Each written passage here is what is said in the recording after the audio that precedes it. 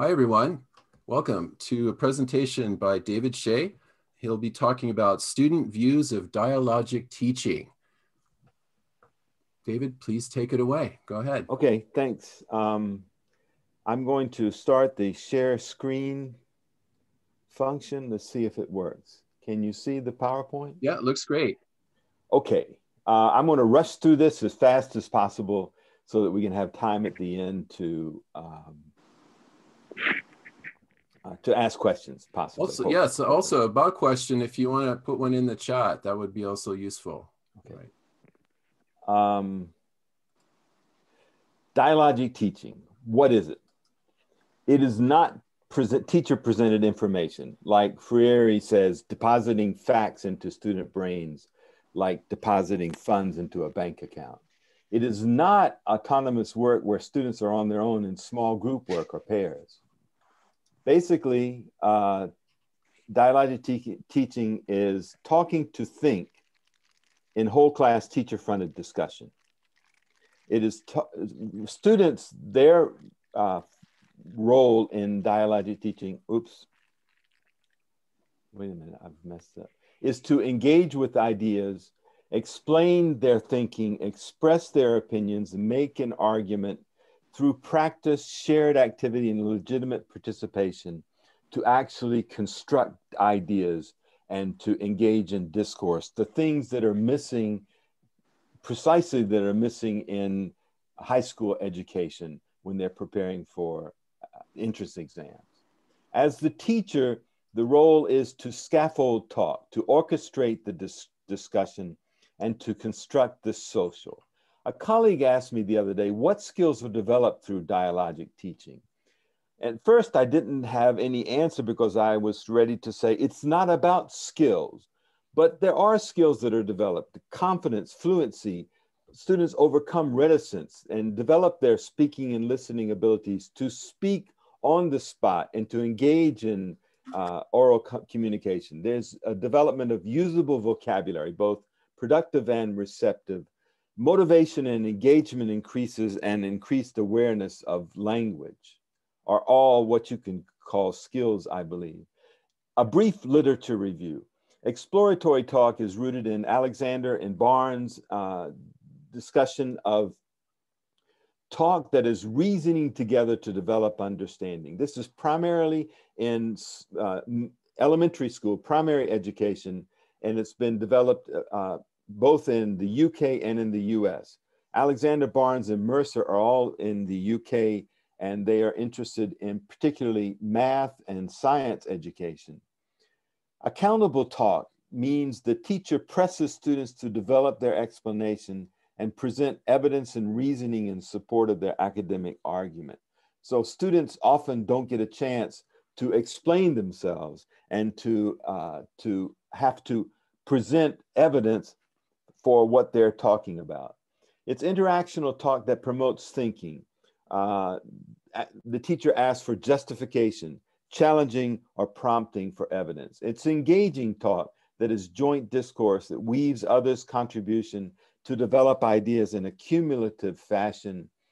And it's also developing a discursive space, sharing ideas with different perspectives that creates a space for reflection. Positioning, the teacher weaves comments in a way that positions students as active contributors of knowledge. In an EFL context, dialogic teaching is far less developed. In Singapore, there have been a couple of articles that have recently come out talking about engendering a community, fostering respect and tolerance, and teachers trying to construct knowledge and understanding together. There have not been that many explicitly noted dialogic teaching uh, uh, articles from Japan or China that I've seen in the past few years. I've developed a, I've been working on a dialogic classroom project over the past couple of years. It's an ongoing study. It's reflective with an uh, uh, um, uh, action research orientation, looking for local solution and pragmatic, dis, pragmatically decided uh, procedures. These are things that work for the teacher that sometimes don't necessarily live up to external um, uh, ex, uh, assumptions about how research is done. I've been teaching a first year university advanced film class with 20 to 22 students in both sections of the class, content based instruction oriented, not EMI, because these are students in the first year who are basically EFL uh, uh, L2 students, developing an integrated skills curriculum. It's required graduation credit, and the TOEIC scores run between 850 and over 900. The accountable talk moves are the moves that I try to make consciously to introduce these in the classroom, in the discussion. Today, I'm not going to try to talk about this. I've, I've talked about this in other articles that will be in the reference list, where I, I do things like revoice what the student has said, adding on to what they've said, repeating, reasoning, waiting, and taking turns, encouraging turns of talk that are balanced and uh, uh, democratic and try to encourage everyone to participate. Features of the class. I start off with a quick stand-up quiz. I've written about stand-up in another in, in, in a Hong Kong journal that's in the references as well, where students are compelled to talk. They must present their own opinion in class.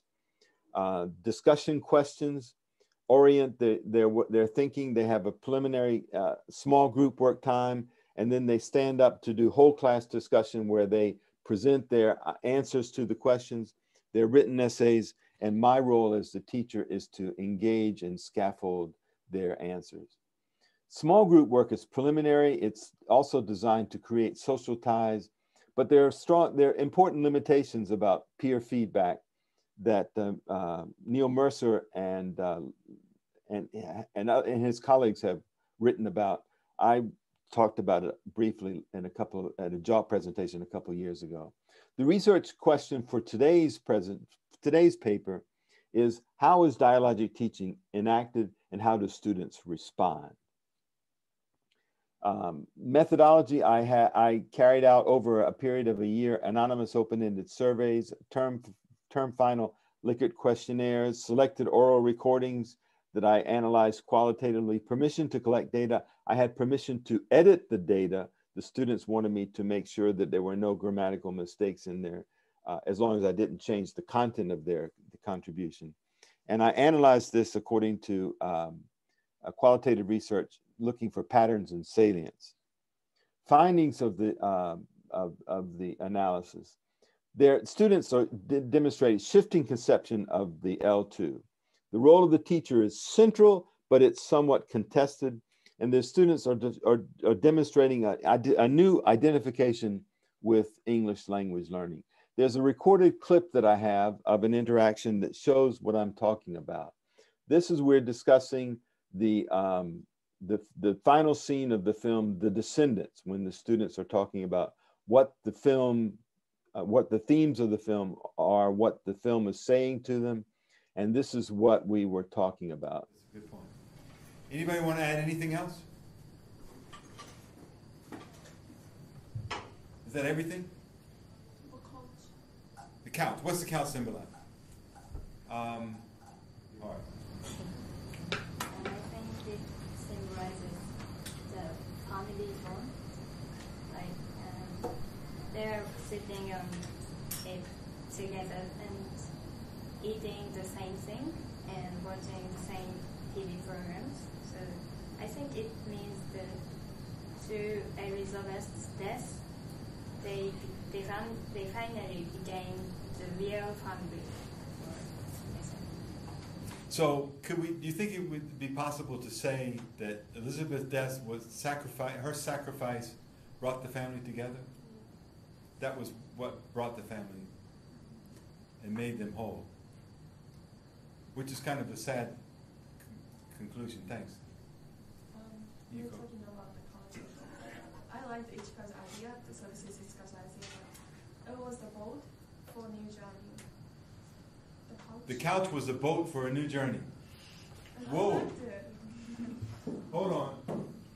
Really nice idea. Can you explain it a little bit more? Sorry, Alan? The couch, um, I thought couch was like home like, right. Like home is like place to yes. gather. Couch, the couch is a symbol of, of the home. The home and know, like people gather with mm-hmm. and like having like you know, sharing their time and relax. So, So. This unity of the family is the unity of the family is they're together again. They started off broken and it pulled them together. Anything, Kaho? I thought that the couch scene, they were sharing the same blanket. Right. And And same food and same spoon. yeah. and I thought, I'm not sure about, they were using the blanket that Elizabeth was using at the hospital. Oh, now if that's true, that's a really that's So I thought like that blanket represented her mother, Elizabeth. and The family was becoming one. That's, that's the blanket. Is it possible? Are you serious? Yes. Ah.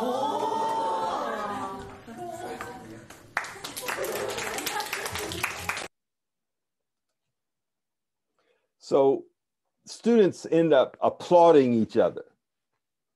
What you can see in this excerpt, I would argue, is that you see solicitation from the teacher where I'm trying to pull out the student ideas, to encourage what they're saying, to confirm what they're saying, and to expand what they're saying. The students are comfortable. This is at the end of the year. It's after two semesters. They're comfortable to speak to their classmates.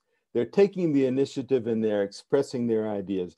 Importantly, there's a shared focus. There's a jointly constructed perspective on this film that all the students share. They're presenting different perspectives, though, as they do this, and the students are engaged with others' ideas, what is called interanimation in the discourse. And what I see here is that students, more than the individual assistance in the zone of proximal development, the scaffolding that the teacher provides, there's something closer to Bakhtinian address here. The students are addressing each other. There's the kind of orientation with the sense of audience where the ideas have weight and consequence when they're talking to each other. They're actually listening to each other. And this is what I was aiming for in the class with that spontaneous applause. What do students think about this kind of uh, approach to uh, discussion? There's a strong preference for constructive engagement with ideas, the students say. These are from about 400 uh, uh, uh, short open-ended surveys, and I have analyzed them and uh, categorized them. And these are the three categories that I've generated grounded in the, in the discussion. It's the first time in my life to discuss in English. I had no discussion in high school. Every class was lecture style. I never thought that having discussion in class and explaining my own ideas would develop my writing and speaking ability. This to me is really important where the students are noting that explaining has product, has under, uh, receptive um, effects. The class improved my overall speaking skills, but way more than that, it made me able to come up with meaningful ideas. It made me think about ideas. In speaking in high school, we did a lot of debate, debate, so it was almost always thinking about disagreement. But in this class, I got to agree with others, but from a different perspective. In sum, the students were positive about the opportunities to speak, the emphasis on ideas and content, and the chance to hear other classmates, almost everyone. There were some students, actually two students in each class, who did not, they reported that they did not enjoy the class and they did not feel that it was that necessarily that helpful to their English. About teacher assistance, for the most part, students recognized that my efforts to scaffold their talk were positive because the teacher helps me, I don't have to give up explaining complicated things, one student said. The teacher's comment after we speak makes me understand what I better what I said myself. I have difficulty saying what I want to say, but when the teacher gives me key words or something that supports me to speak, I feel glad about it. The teacher helps me to think more, but there were, however, some reservations. Most of the time, comments you give us gather my thoughts, but it would help if you could just let us finish what we are saying, one student noted. And sometimes the professor speaks too much and I have to stop, one student said. I generally like the way you teach, but sometimes I don't like you because you make people laugh at me. At the same time, I enjoy it, so please, please keep going. Keep going, please. This is a, a interesting, ambiguous, conflicted response where she contradicts herself or he contradicts himself. Your handwriting should be more readable. What can I say? Teaching is a messy business without researcher certainty.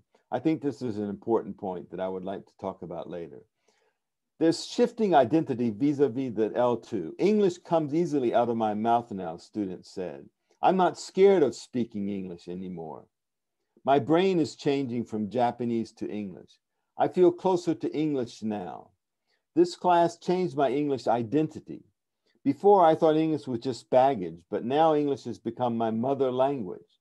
I was really surprised to get this comment. I didn't expect it. I didn't give them any uh, any hints or, or, suggestions that it could be uh, a mother change into a mother language.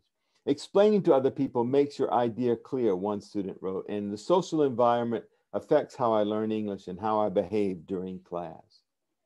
Before this class, English was just a language to connect with foreigners. But I learned that English isn't just a tool, it's something different. It has more meaning.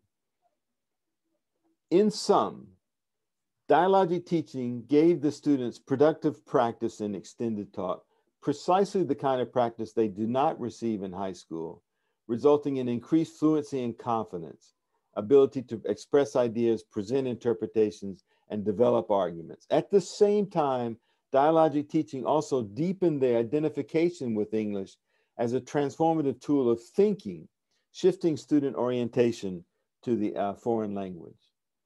Interanimation was a key uh, construct that came out of the analysis. The orientation that develops toward classmates. Dialogic teaching is not, as often presented in the literature, simply about how to solicit ideas and expand student thought, however important those are.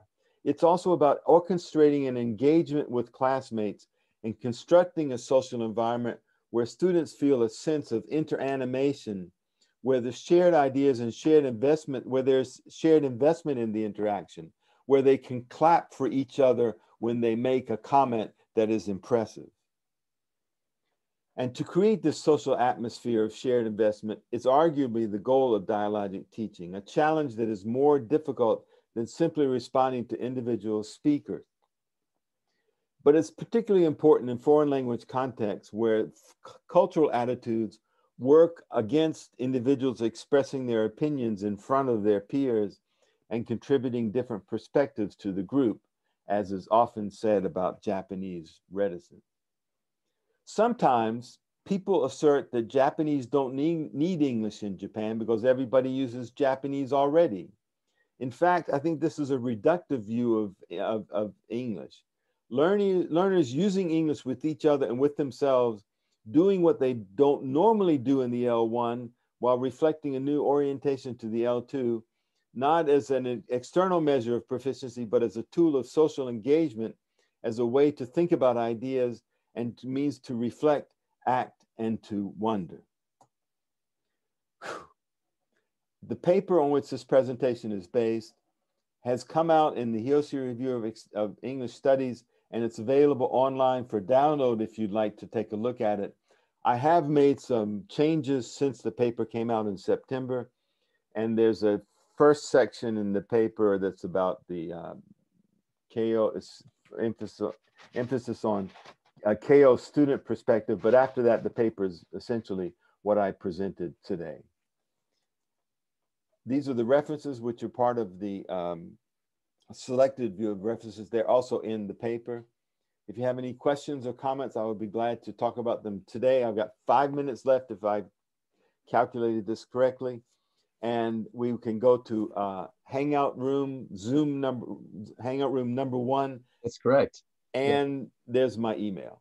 Thank right. you very much. Thank you very much, David. Hi, everyone. Could you unmute and give a round of applause? Thank you very much. Let's go. That was very, very, very interesting. So yeah, we've got five minutes, everyone. Any questions? Please feel free to unmute your mic and ask a question. Should I stop the share? Yeah, why not? Yeah, stop why not? Share. Okay. All right.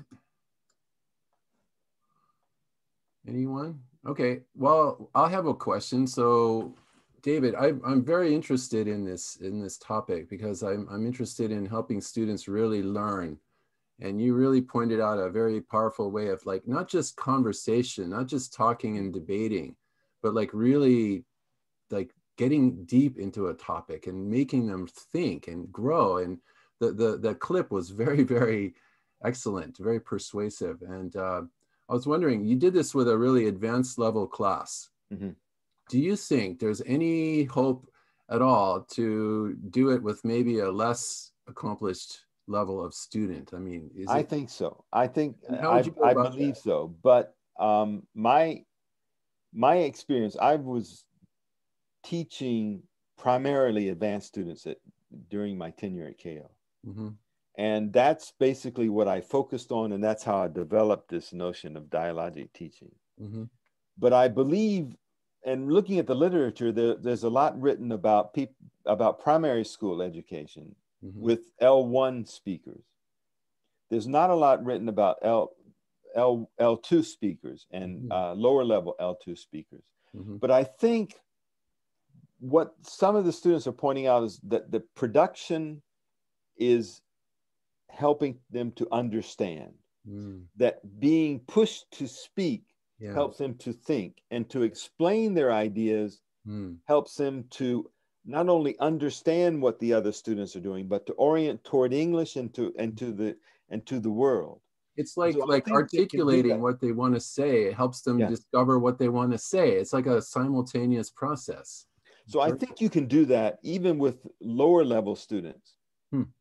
um, if they are if, if and i think you can also stimulate their motivation through this this uh, technique through this Mhm. through dialogic teaching Mhm. uh, that will benefit students who are not in the advanced classes Mhm, so my answer would be i've not done it but i think it can be done mhm. Excellent. Okay, that's And hopeful. so Go ahead, Yeah. Annette. you note you noted that this was towards the end of the semester or the second Yes. semester or Yes. something. So Yeah. right at the beginning in April, May, when they're new students, do you Mhm. try this and how does it Oh, go of when they're when they're new? Yes. Um, I, I, it, I started from the beginning. Yeah. I, and I emphasize orienting the students. I tell them what we're about and I tell them why we're doing it. And with the Keio students, I always framed it in terms of Fukuzawa Sensei's um, Enzetsu. He, he started the, the, the, uh, the speech hall. He built the speech hall and told students that they should speak out their ideas.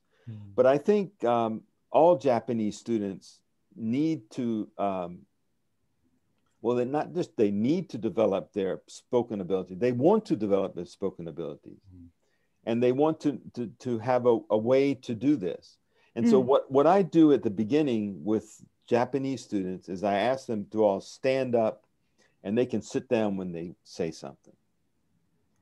And that's some people say draconian but it's also my students have said almost 100% of the students have said being pushed to speak is what they want Hmm. they do feel at the beginning a resistance and some stu- one student said that she felt sick every day every wednesday when because i had she had my class in the afternoon but by Mhm. the end of the semester she was one of the most enthusiastic students in the class Interesting. so I think that I, I, I see that that's one of the things that I really like about the, this this approach, that you can see students actually changing and they are aware of this change because it stimulates their language awareness. So I think it's a it's a great way to start off with. If you don't start off this way and you say we'll get to the important stuff later, I think you'll lose them at the beginning. right. Yeah. right. yeah. Mhm. Mm, excellent. Okay, thank you. Thank you very much. All right, we're basically out of time. So I'd like just to say thank you again. Was a very wonderful presentation. It's going to be online posted. Um, I'd like to stop the recording now. So thank you very much. Thank you, Jerry. Thanks everyone for coming. Thank you very much. And uh, please head on over to the Hangouts room uh, if you'd like to continue conversation about Okay. all this. All right. Thank you, everyone. Thank you. Take care.